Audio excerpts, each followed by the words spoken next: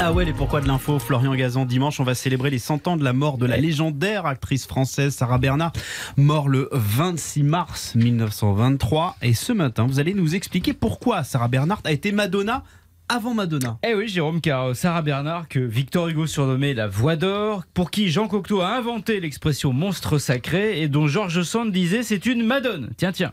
Eh bien, ça a été la première, la toute première star internationale.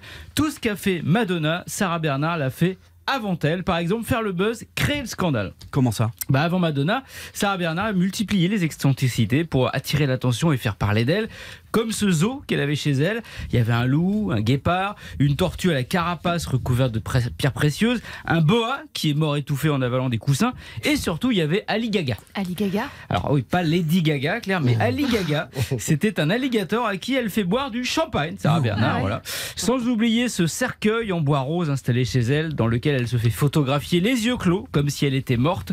Photo qui va faire le tour du monde et lui permettre de partir dans une grande tournée internationale. Sydney, Londres, Rio, où façon Elton John, elle se déplace avec 80 mâles. New York, où les hommes jettent leur manteau devant elle juste pour qu'elle marche dessus.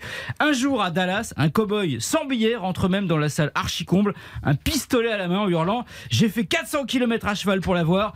La Bernard, je la verrai. Et eh oui, car euh, c'est un sex symbole, hein, cette Sarah Bernard. Ah bah ça oui, avant Madonna, cette féministe acharnée a revendiqué une sexualité débridée et elle en a bien profité. Victor Hugo, Léon Gambetta, Napoléon le roi Édouard VII et des centaines d'autres ont défilé dans son lit, y compris des femmes, elle qui disait, je cite, L'amour, c'est un coup d'œil, un coup de rein et un coup d'éponge. C'est classe. C'est du Sarah Bernard.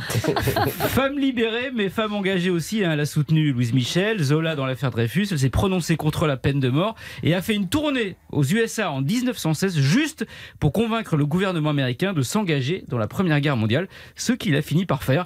Et oui, Sarah Bernard, c'était une influenceuse avant l'heure et aussi bah, avec des comportements d'influenceuse. C'est-à-dire? Bah, Elle a été la première vedette à recourir à la chirurgie esthétique, un petit lifting, hop, ça nous renvoie à Madonna, et aussi à faire fructifier son image dans la publicité et des produits dérivés comme de la poudre de maquillage ou de l'absinthe, ce qui ne l'empêchera pas de finir ruiné, obligé de vendre biens et bijoux, mais pas sa jambe qu'on lui avait amputée à cause d'une gangrène et qu'un riche américain voulait acheter pour la faire empailler et l'exhiber dans tous les États-Unis.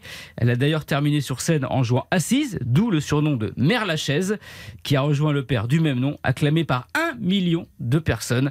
Des funérailles dignes de ce qu'elle était, une grande star.